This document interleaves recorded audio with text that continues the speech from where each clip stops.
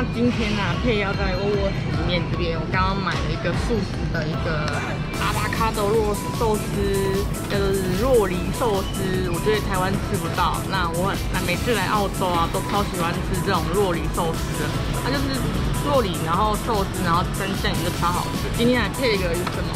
其实我也是第一次买，它就是一个咖啡，然后里面有加那个 Bundaberg Rum，就是一个兰姆 m 酒，然后加咖啡。那我们来尝试一下到底是什么口味哦。其实 Bundaberg 是澳洲的一个地名，在昆士兰的北边这边，那很多农作物。那它有一个很特别一个酒厂哦，它它的酒叫 Bundaberg Rum，所以我们来尝试一下。那之前佩有去过到邦德本这个地方啊，其实对于背包客来说，它就是一个呃很多工作机会的地方，但是我们也可以称为什么地狱堡，因为什么？之前那边都黑工很多啊，然后薪资没有很好，那我们就来推一下到底是什么感觉。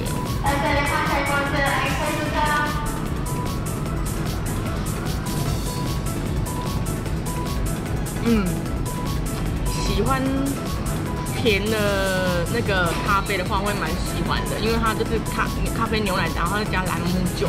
那如果喜欢喝那个嗯 black 的话，就是无糖的话，可能不喜欢，因为它蛮甜的。那其实就是咖啡酒的概念哦，真的蛮好喝的。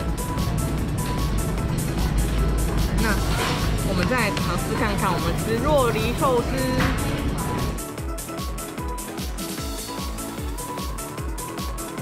其实很多人都说洛梨寿司啊，其实就是我们素食者的什么，很像素食者的寿司，就是在吃那个什么鲑鱼寿司的那种感觉哦。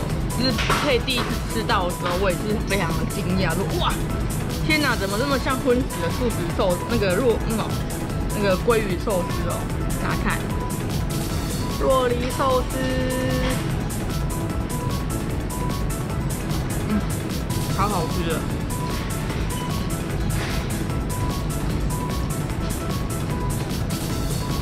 有种超像鲑鱼的口感的。之后啊，如果我来，我们可以选择超市要闭店的时候来，为什么？它常常会有像这种的。那这次可以很幸运的买到 reduce，就是原本它这罐咖啡要三点七块，那我今天只要买到一点三四，等于差不多二十五块台币左右，我就买到这一罐了，这是超便宜的，因为因为在外面买超商店买了一杯咖啡，差不多三块到五块澳币左右，或一百块一杯那个咖啡。可是如果我们买到 reduce 的话，就会点到便宜哦，等于会有时候会有三分之一的价格，或是一成的价格出来哦。嗯如果比较贫穷的那个背包客的话，我就建议那个超市快要关店的时候来，因为像这种若若梨寿司啊，它原本是五点五块一个。那说不定你会买到两块或三块一个，就会便宜一半以上的价钱哦。